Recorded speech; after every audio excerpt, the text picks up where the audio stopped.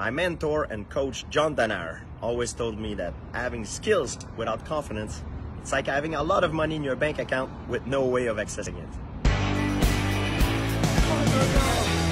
Official weight 185 for Mr. Strickland.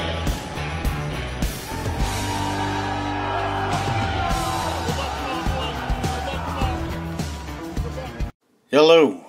Sean Strickland is not the most confident fighter. I don't believe he has a lot of trauma, but this has never stopped him from dominating his opponents, methodically picking them apart. Here, he can't maintain eye contact, has to constantly look away, while Paulo Costa is really engaging Sean Strickland with his eyes. He's looking at him, looking him down, he has confidence, he believes he can win this fight.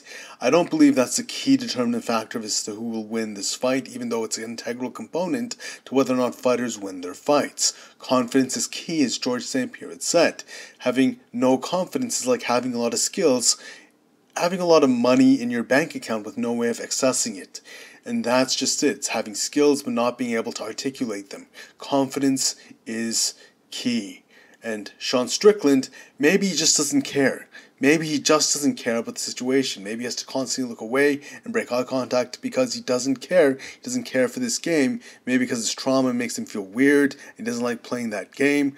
But for the most part, he is a very dangerous fighter regardless. He's never been the kind of guy to dominate a face off.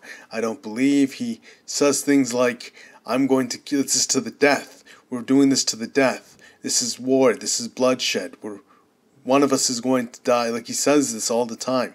He said this versus Dricus, and he I believe he really means that, but he's a very methodical fighter who doesn't go in head first. He's a very intelligent fighter, and I think this nervousness that he has, this unwillingness to engage with a dominant aura, I think it plays into that meticulous nature he has. Now, who do I think will win this fight? I think Sean Strickland should pick Paulo Costa apart and win the decision, but Paulo Costa can still land a spinning wheel kick and catch Strickland in the head. Strickland's been dropped by that before. It could happen, but I see Sean Strickland winning a decision. And his less confidence in Paulo Costa, I don't think there was anything to really tell from this whether or not it would actually determine if he would win or lose the fight. This is kind of who he is. And I still say Paulo Costa was more confident, but Sean Strickland will more likely win the fight regardless.